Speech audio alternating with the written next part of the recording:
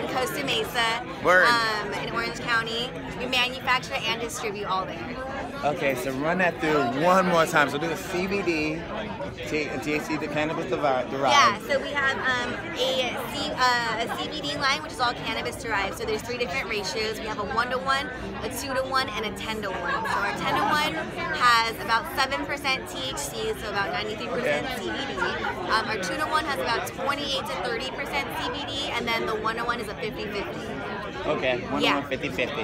Nice. And Yeah. what kind of benefits do you get from it? of what? Benefits you get from it. Um, me personally, I um, I, I only use our CBD cartridges. Um, because I actually believe in them, which is super awesome. Um, I enjoy the CBD benefits uh, for my back pain. Um, I get really Yeah. anxious and shaky, and Back it, pain and it is calms my nerves.